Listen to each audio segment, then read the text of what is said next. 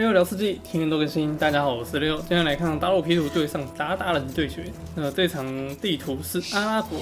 那现在已经是最新版本了。那大陆 P 图已经有更新了，那就是它已经变成有火炮了。那有火炮之后，大陆 P 图对于对方的一个头车战略哦，就比较好应对一点了。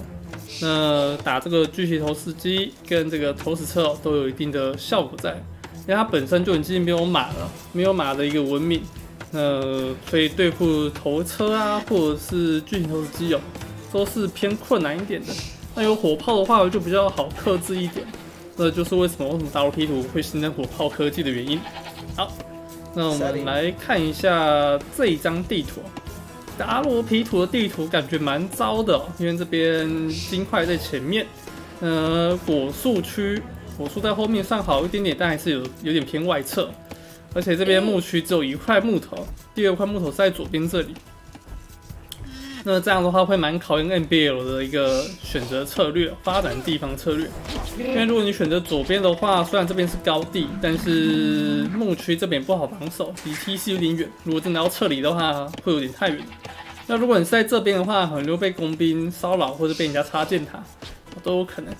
嗯，算是 NBL 这边的图看起来是蛮惨的。没有那么好的感觉。好，那我们稍微来讲大陆 P 图的能力哦。大陆 P 图的能力的话，它到每个时代都可以获得两百的木材。那，这个效果的话，在城堡时代跟神那个封建时代时哦，是最有效果的。为什么这样讲呢？是因为封建时代的时候升级到两百木头，在前期是非常非常多的。这个两百木头就代表说，你可以直接多撒别人三片田，非常的好用。那这三片田的话，对于升城堡时代就会非常非常快速。不然就是还有另外一个说法，就是你可以边撒田边盖射箭场，哦，攀科技都没有问题。那这个两百木头在前期来说是非常珍贵的。然后，那再来讲这个军营科技费用是有减五十 percent 的一个效果。那它有一个金冠叫做乌兹钢，乌兹钢的能力是步兵跟骑兵的攻击可以无视敌人的防御，就是可以打一个真实伤害的概念。那大陆 P 图它本身有这个军营科技减免五十 percent 的费用，就是它有点鼓励玩家都可以多打军营单位哦。你爬科技也便宜，还有可以搭配物资钢，这个伤害就非常非常可观。好，那我们就来看打打吧。打打的话，最主要的特性是它的高地打低地哦，会有再加额外伤害，好像再加二十五 percent 的样子。那这个能力的话，可以让他补足这个伤害，会再更高一点。因为本身高打低就已经有好像三十帕的伤害，那再再加这个二十五帕，虽然我不知道这个公数学公式怎么算的，但明显的感觉出来，这个能力是对打打来说是非常厉害的。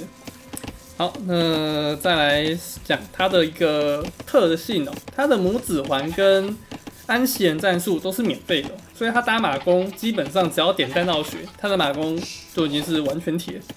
啊，再点一个二级色，红火一级色，这个一级色你会点吗？二级色也点一下。城堡时代的时候，马弓出血是非常非常猛，射速快，安全单数防御又高，对，而且打这个步兵哦，长枪兵又有这个加成伤害，啊，都算是一个不错的一个能力。而且我们刚刚提到，他在高打低的时候又有额外加成，所以马弓在城堡时代的时候打打，我觉得算是最强的。他只要利用这个高地，一直高打低高打低，然后再利用这个拇指环安全战术，然后弹到血，哇，这个伤害会非常非常可观。所以达达了也算是蛮多高手喜欢用的文明的。呃，它也算是 A 级文明左右，没有 A 有 B 哦，哦，至少在那附近。那他说他是 S 级文明的话，我觉得有点太太超过了，因为。因为其实啊，达达人并没有太多的经济加成哦。它是一个前期只有这个羊啊，有这个加五十 percent 的食物之外哦，那基本上啊没有太多的加成，所以它算是一个强攻文明啊，就是你经济一定要自己掌握的好，那你在军事上面比较容易会掌握到优势的一个文明。好，那来看一下达鲁皮图这边打的战术是三棒棒开局。哇，我们才刚刚说达鲁皮图的特性是鼓励玩家去打军营哦，均匀的这个步兵单位哦，马上就打出来了。那他这边升棒棒很便宜哦，这个只要二十黄金哦，就可以点这个装甲步兵的升级。啊，原来我们装甲步兵是一百四十肉二十，哎，四十黄金，那这边就变成七十肉，然后二十黄金就可以点下这个民兵的升级。所以他在前期打装甲步兵是优势蛮大的。那这边打 O P 图一上封建时代，马上就有这个两百木加成。那这个两百木，好木头量就很明显，直奔。你看盖了射箭场之后还有两百多木，还可以再继续苟一下。那这边没有选择盖双自建厂，有没有马上补下这个兵工厂？可能是想要存这个木头来撒农田的可能性比较高一点。哎，确实是这样子，没错，撒开撒农田了。哎，这个就是大陆 P 图的一个小细节。呃，平常我不会讲这些细节，是因为我觉得大家可能也不太会关注这些东西。但是我觉得 NBL 他身为一位高端玩家，他肯定会这样打，所以我才会讲这个细节出来。好，OK，然后这边装甲步兵过来，罗马过来看一下，能打到点东西，好像有点困难，有点难。好，我们来这边对比一下农田数，这边已经有四片田、五片田了。那你看这边打大只有两片田。那我就可可想而知，这个两百木头升级是非常非常可观的，尤其在封建时代的时候。好，那这边有还多按了一支长枪兵哦，超针对达达这边的斥候。但是这边斥候已经转出来这个战矛，这个战矛打长枪兵效果就不错，但是对这个中甲步兵就没什么伤害。所以这边打打还是要找个机会去挖黄金哦，出小弓来打比较好，因为小弓打这个装甲的话伤害还是比较高一点的。但是这边装甲似乎好像没有打到太多东西，感觉一直被溜。边都在积极操作自己的单位，但是这边大陆 P 图已经转出了一些战矛兵跟一些小弓，要来前线来支援这边的装甲步兵的战队。但这边单位血量越来越掉越多了，因为这边是都是近身单位哦，但对方的毛兵已经出来了。可以做一些骚扰级的打击，但是后面这边有选择挖黄金，那田也撒了很多了，哇，已经撒了一片十五片了，哇，这么多了，哇，他已经撒了一圈，然后又多两片了。但你看这边打打哦，大概都会撒五片田，哇，那这这少蛮多的。好，但最有可能原因是因为 W P 这边是没有下马厩关系了，因为打打这边是有下马厩跟这个射箭场。还有补下这个兵役的关系，所以田板就没办法这么早散。那这边的话，打老 P 图确实有拿到一个小小的优势在。那这个细微的差异就会随着时间慢慢扩大哦。然后呢这边装甲步兵能收掉一只肉马吗？哎，没有打残血的。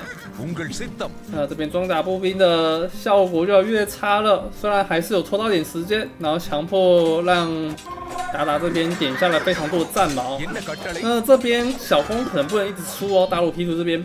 大 P 图还有个特性哦，就是它的相攻跟战哦有这个二十五的攻速加成。哎，这边是没看到视野。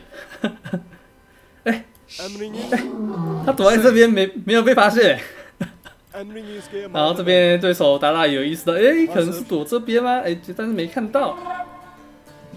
还一点差异。哎，怎么怎么没看到？哇，他居然突然果被引掉了！哇，躲在这个位置非常完美。呃，如果他没躲在这个位置的话，这些落马可以轻松的吃掉这些单位。但这边躲的还不错。但是问题回到了 NBL 这边，大罗 P 图该怎么防守呢？出工兵的话会被炸毛射歪，而且还会被这个落马打到有点头痛。那肯定是要用这个长枪兵加战矛去防守会比较好。好，来看下这边的进攻跟防守。边落马过来，能打到点东西吗？有点困难，我觉得很困难。这边随便围一下，这边就进不来了，可能会打这个地方。这边离 P C 也比较远，所以这边还可以稍微用战矛去骚扰。但是这边，哎呦，这边 N B A 喽，战矛的数量非常非常多。哎，这边战矛有二十五帕的攻速加成，射得非常非常快。人家射三发，他可以射四到五发，哇，这个伤害非常的猛。好，那这边伺候进来的话，这边要收村，然后这边赶快盖房子，赶快盖，完盖，把这个洞围起来。好，不然这边要 BBQ 了。OK，那这边直接守住。守住之后，这边也是哦。如果这边进来的话，但是这边会进来吗？不知道。会往右边走吗？还是会直接出去呢？但出去会有风险，可能会被直接围死。所以围死的话，这个落马跑不掉会不会提示射光的可能性更大一点。好，这边落马直接抓一些农民，比较偏远 T C 的农民可能提到。好，但是这边大陆皮图并没有点下这个受根技术，看来是要直接打一个直城。OK，这边长兵直接瞬间戳掉两只落马，很痛。好，家里一些战矛兵已经到了金矿区要来骚扰。那这边战矛兵打这个村民哦，伤害还算可以，因为这边数量够多，你这边攻速够快哦。打我皮图本身就二十五 percent 的战矛的攻速加成。但是这边遇到肉马还是不太行，因为肉马是可以直接贴着打的。呃，战矛有这个最小射程的原因了，所以没办法对这个肉马造成攻击，所以只能硬点对方的毛兵。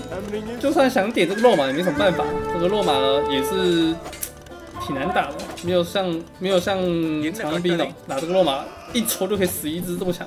看这个战矛激活一只也只扣一点点血量，因为本身战矛兵的攻击就只有三而已啊。好，那这边打了城堡时代之后，我觉得两边应该都会打这个斥候，哦，打这个骑士啊。那达达这边比较有可能是打这个马弓，这边下双射箭场。那我们刚刚有讲，前期我们有讲到这个达达的马弓是在城堡时代是非常非常强势的一个单位了，基本上该有的的科技都会有。那只要补一个弹道锤之后，它的这个马弓哦，就是一个完全体。那二级色一定会点，我们就不多讲。呃，这边，那如果是打我 P 图的情况的话，那持持续出这个战矛加小弓，好像就守住。战矛配相弓好像一个不错的选择，对？相公可以打骑士或者是肉板，那战矛的话就可以对付对手的战矛跟马弓。那感觉这个策略好像不错，对马弓比较好，但是缺点就是跑得比较慢。要追到这个马弓比较困难一点好，两边还在做交换。哇，高手对决就是这样子哦。从黑暗时代打到城堡时代，没有再跟你休息哦，没有，应该从黑暗时代开始打。黑暗时代一直就一直打，一直打，没有地方可以让你休息，要让你一直出兵，然后去控兵，然后还要操作经济啊，那种手速会非常非常的慢。没办法很专心去控制发展自己的经济，你还要时不时去控前线，然后去做一个操作。好，那这边打打的高打低的优势出来了，哇，你看这伤害很高。好，那这边优先升到了战矛，战矛升级升完了，那这边打罗皮鲁可能要全速撤退会比较好，但是战矛还是想要继续输出，但是毛兵这边高打低的伤还是不错的。那这边再直接再收掉一只工兵可以吗？有点困难。但这边高打低还是有点吃力哦，毕竟打打这个效果只有高海拔打低处的时候才有这个能力，平常低打高是不会有这个效果在的。好，那这边好像第一波打完了，稍微加速一下。好，那看起来大陆 P 图家里哦是二 TC 开局，然后补下 BK 要来防守，可能会出这个弩炮或者是头车都有可能。要来打这个马弓跟战矛的一个突袭战术。那由于这边是盖两个射箭场在出，三射箭场出马弓的关系哦，所以这边 T C 是比较难盖出来的。而且这边还要再找机会去盖下大雪，来补这个弹道雪，所以这边打打的木头量会比较需求量会比较大一点。那 T C 站就比较难开了，呃，开的时间算是比较晚一点。OK，那这边战矛过来直接点一下。哦这边村民会被收掉吗？但是好像不够多，收不掉。这边哇，很多的小弓直接被这个马弓吃光了，而且还顺利杀到两村。呃，这边驼车过来直接砸掉这一坨，哇靠，这个战矛直接倒地。哎，果然还是出头车比较好用啊。好，那正面补下弹道学之后，马弓还在骚扰。我弹道血的话，打马弓就不会手抖了。OK，这边直接贴到过来，直接把这个头饰给收掉。哇，非常蛮攻面。好，但左边这里空步来已经顺利的被解掉了。战矛还是打马弓非常非常好用的。这边大量马弓直接硬点村民，顺利的杀到十村左右的单位。哇，这边单位直接反超啊！四十七村打五十六村，达达刚刚明明没有那么多村民的，但这边出了一堆马弓之后，马上停马弓，然后转这个三 T C 出来啊。呃，马弓的话，三 T C 出来之后，再继续补下这个生产，那让自己的军事还不会太过疲弱。好，那这边选择出战矛跟僧侣的打法。那僧侣的用途是为了要抵抗骑士来直接砍战矛，那也算是一个不错的战术。但是问题是没有长枪兵的话，大量骑士过来还是很有可能会一面倒。好，几只战矛过来后面骚扰，但是效果并不大。这边有多非常多马弓过来，直接射死一村、两村有可能吗？但是没有带到血，射的很歪，让了这个男村民跑掉了。啊，直打女村民，这个已经是丑女了，太狠了，太狠了。好，那这边战王过来之后，马弓直接撤退。那这边要退多远呢？好，这里中补下第三个 TC，哇，这个 TC 补的有点慢了。MBL 这边经济稍微被拉开了一点点哦，已经差距十六村了。那由于是被杀了十一村关系哦，所以才会差距这么大。好，那这边马弓过来还可以再战到吗？但是没有弹到血，没有弹到血的话，这个杀伤力还是会稍微弱一点点。好，马弓过来被僧侣烧响，还是要撤退。这块金块区还是有僧侣在，比较安心一点。好，等这边战矛过来被过来骚扰，直接被骑士抓个正着，骑士直接无双开砍，想砍谁就砍谁。战矛最大的缺点就是没办法抵抗骑士啊，但是打马弓还是蛮好用的。好，那大量的马弓过来，直接要硬点吗？我觉得有点困难。这边直接硬点的话，马弓。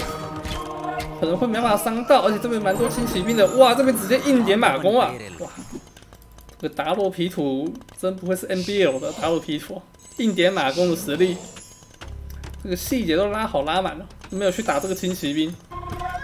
好，那这边僧侣数量越越多，有来到四只。那这边要怎么继续打呢？这里有几只战矛在右侧反防守，但是。感觉好像数量不够多，这边是主力直接过来哦。那左边分了一队新骑兵要来左侧找漏洞来打。好，那这边看到视野进来了，这边要后撤吗？这边很有可能会后撤，但这边是 TC 联防的一个区域。放到这里要只要收村的话，应该问题不大。但是这边没法容纳到这么多村民哦，还是有些村民可能会被打到。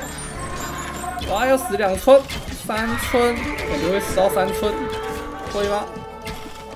哇，三村四村，这里轻骑兵直接进来了，但是这边有长枪兵，长枪兵直接过来开戳，但是一只长枪兵直接应声倒地。右边这里马弓再继续过来继续骚扰。哇，村民被屠了十五村了，这边还有更多村被砍，长枪兵直接上来补了一枪，继续补，这里还再倒一村，哇靠，十八村，村民数越拉越开，七十四村打九十九村。这边打打的战术打的还不错，一直用机动性的方式去拖延你的时间，让你的战矛追不到。但是这边 NB 龙居然出这个装甲战象啊，看来是要来跟对方打一个正面冲突。哦正面硬刚了，没有选择要上帝王时代了。这但是 NB 龙这边黄金也存的太多了吧，一千四百黄金。但打打这边也是蛮多的，两边黄金数量都还蛮多的，但是这边金矿工是三十三人，几乎是打倒了一倍。然后呢这边战象过来啊，这个工程战象要直接来拆建筑，但是这边轻骑兵的数量非常非常的多。这边这边不出骑士，原因是因为对手 NBL 出了太多的僧侣了。这个僧侣的话，用轻骑轻骑兵来打的话会比较好打一点，只要几刀就可以轻松收掉这个僧侣。然后还有一只僧侣残血没收掉，但这面的一个大象突进进来了，这两个村民直接用拳击直接敲这个大象。OK，大象已经被村民全局给敲死了。那这边的话，这面还要再继续用战象吗？但是这边打打感觉你要上帝王时代了。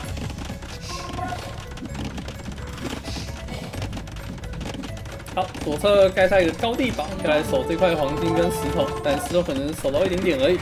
战矛在这个位置还是能抵到的。看这边进攻，第二波进攻又来了。通常只要出装甲专家，就是没有要跟你升帝王时代的意思了，就是我要城堡打到底。但是这边打打已经要上帝王时代，这样就会有变成一个时代差喽。如果 NBL 这波没有打出一个大碗的，那很有可能会打出继续哦，一个帝王劝退是有可能的。但是这边战矛兵数量非常非常多，而且这边都是有这个攻速加成的，可以吃到大楼皮图的二十五的攻速伤害加成。伤害非常非常高，这个输出能力哦非常非常好，但是打这个骑士哦就是比较弱一点，骑士就要靠这个长枪兵来解，但长枪兵只要一过来，这个骑士就后退，然后再用这个马弓收掉对方长枪兵，哇，这个策略非常非常好，因为马弓打长枪兵，只要有点这安喜人战术，就会有这个额外伤害加成，呃，清理长枪兵的速度是非常非常快。快过来，战矛再继续打。更多的战矛走了过来，但是帝王实战已经点了下去。这边骑士开始爆大量，但是这边僧侣的量不够多，所以对于这个骑士直接阴上来这件事情还是有点困难，有点难守住。战矛直接五次骑士来硬点对方的马弓，但这边挖死去的村民也太多了吧！哇！直接在你眼皮底下挖石头。好，大量的骑士砍掉了非常多的战矛，但是自家马弓也死的差不多了。所以这边骑士的数量也剩最后一只，后面的骑士也补了过来，但是能继续补下去吗？血量掉的很快。哇，好像要撤退了。这一波感觉是 NBL 的大失败啊！这一波进攻来说，我觉得 NBL 没有占到任何便宜。基本上达达这边的村民没有掉太多，而且这边在出雀靴了，以战养战之神。呃，雀靴这个单位哦，特殊能力就是攻击每攻击一下黄金就会跳一，所以我才会说它是以战养战的一个单位。只要打的越多哦，这个钱就跳越多。但是它的缺点是打建筑是不会有这个跳黄金的效果。呃，打单位才会有这个加一加一的一个跳黄金的能力。这边投射出来，直接投一发会全倒，哇，没倒啊，哇，只倒了前方而已。但这边先行兵马上补了上来，直接倒地。投车第二台补了过来，能再投到一发是滴滴打高地。这里有在控，哎，但是直接投一个正中心，但是有点踢地板踢了过头，并没有提到，没有打到太多单位。呃，家里这边又补下一个城堡，又来挖前线金矿。那这边达达金矿地区还守得不错，但是这个地方还是有点危险。这个用这个碎雨的射程还是有机会可以打到这个地方的，虽然有困难，还是有可能被城堡射到。好，那这边绕着一只骑士过来，想要来骚扰，但是这边用这个战矛吸引战术，把它拉远了 T C 的位置。那这面的话两大两座城堡的话，有点难进攻了。所以这个落这个鸵鸟是不小心点到的，鸵鸟表示关我屁事啊！直接躺在地上抽。好，那三级射点下了，三级马凯也点了。那看来就是要打这个战矛加马弓，然后加雀雀的一个战术。那黄金刚刚还要存一千多，但现在只剩下四百了。那达洛 P 图这边也是花了蛮多黄金的，那食物实在是不够上帝王时代。感觉现在就是一个城堡打帝王，需要拖点时间。但是能拖拖久就是另外一回事了。我们这边先加速一下。好，僧侣过来想要招降，只招到了一一只骑士哦，一只刺头。那这个只刺头可以解掉两只投石车吗？如果能解掉就很赚了。哇，还真解掉了。好，那这边盖了一个高地堡来守这块黄金跟左半边地图。而这个头车直接砸中，大量战矛瞬间倒地。好这边有几只村民走过来，哎，这边是操作失误的样子啊。好，那这边展出了一些马弓，那雀雀直接生命硬砍。那这边打打使用高地打低地，还是有个伤害加成效果在。这边使用上面招降雀雀，雀雀只能撤退。啊，已经被招到两次了，不能再被招到了。啊，这边雀雀直接被互换掉，战矛相公。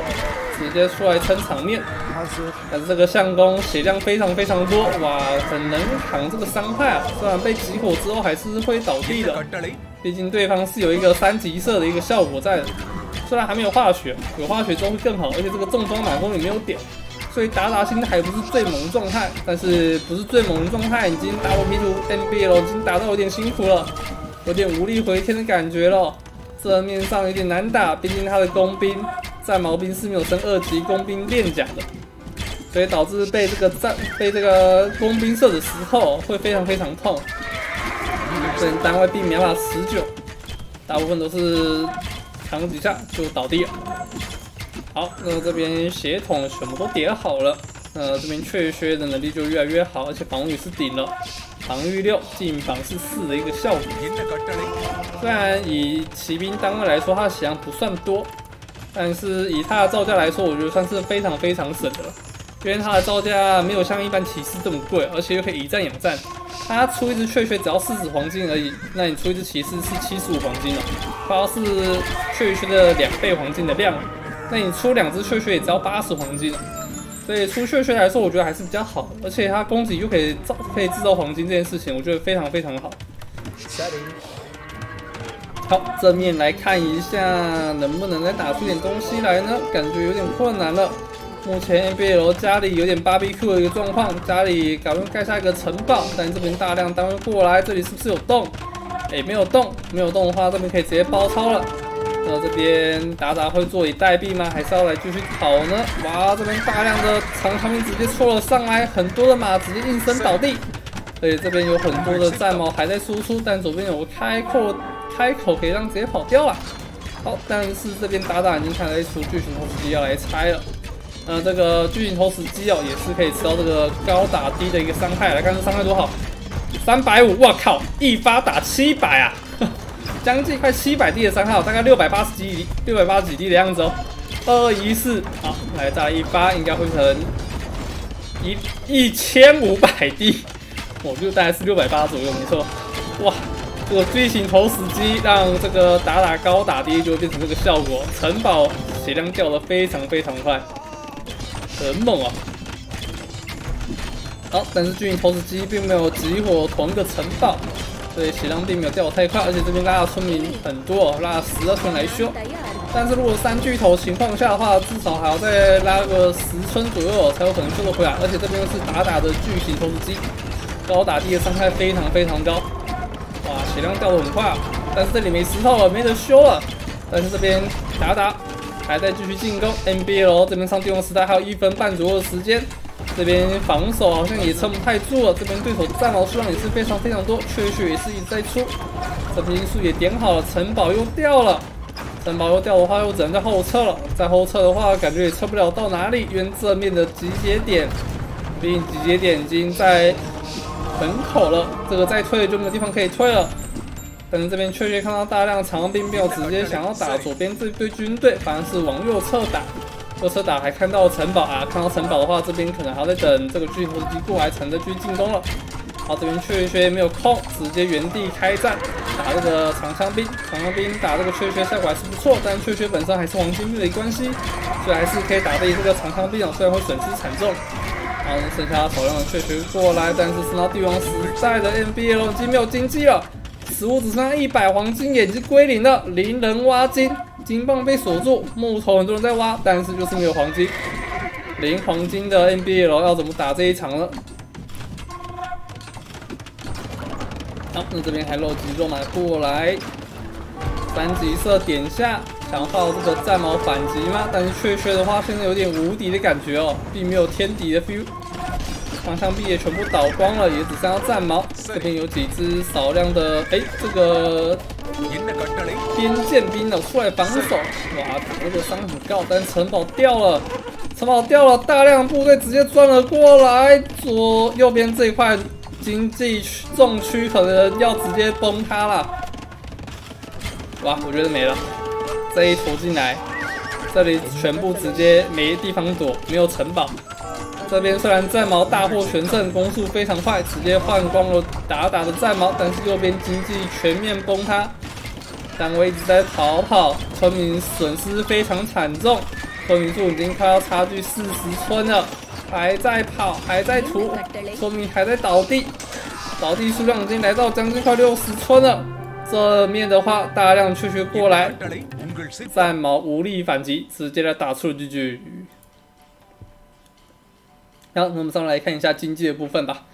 经济感觉上是两边都打的还算不错，但是这边红方打打有个小失误哦，二级射呃这个二级伐木哦到四十七分才点，算是一个问题点。然后这个手推车也是比较晚点一点的，但是我觉得问题不大，因为他们两个本身都是在封建时代跟城堡时代都是在开战状况下，忘记点是正常的。但是这边 NBL 是完全没有点这个。手推车的，所以导致他整场都只用这个轮走，打到底哦，所以经济一直没办法起来，然后前面又花了太多的工程战象资源哦，去攻击对手，所以导致他帝王时代很难上去。所以一大一直有这个讲法，就是只要有人城堡时代打冲车或者是工程战象这种单位的时候，就代表他是没有想要上帝王时代的。那如果你在这个时候可以出头车啊，或是用一些方法守下来的话，那你就很容易就可以使用帝王时代打城堡时代这个经济差距出来，这算是一个比较常见的一个观念了。好，那我们今天影片就差不多到这了，我们就下次再见喽。拜拜。